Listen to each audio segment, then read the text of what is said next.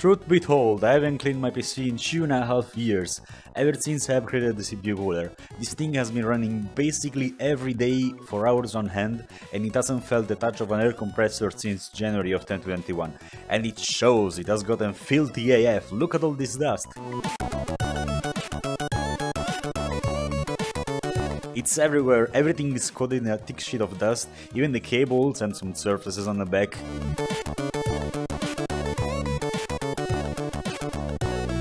And look at that front filter, one of my friends said it looked like a British telephone box coated in snow, so I decided it's finally time I roll up my sleeves and get to it. Skip to the timestamp on the screen if you just wanna see the temperature tests. Now, let's begin with the edit.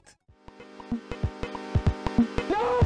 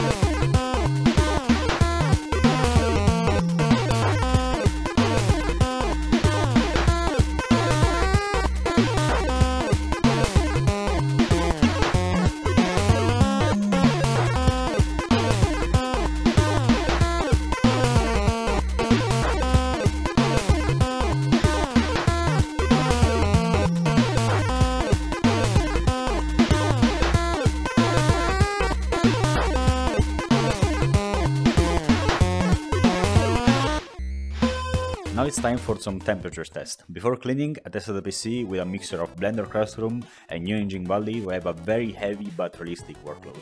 I kept everything the same, the same background programs open, I even physically removed myself from the room and ran the AC to keep a consistent temperature inside the room. In the Dusty test, the CPU hit its max operating temperature almost immediately after less than 4 minutes. As you can see in this graph, the CPU clock, clock as you can see in this graph, the CPU clock kept bouncing a little bit over the place after the CPU hit 95 degrees Celsius instead of being mostly smooth like it was in the first 4 minutes. The GPU instead held on for a little longer but started throttling on and off around 6 minutes in. You can see here also the GPU clock being all over the place after the 6 minutes. After dusting, but before the thermal paste change, I ran some quick tests. Unfortunately, I screwed up some settings and got a 20 minute test instead of a 30, but the CPU settled around 87 degrees Celsius at the end, around 8 degrees Celsius lower than before. Already a huge difference considering all I did was just blow some hair inside of the case. On the GPU was a similar situation. Towards the end of the test, the temperature kept oscillating between 72 and 75 degrees Celsius at the worst, an 8 degrees Celsius difference, which isn't bad.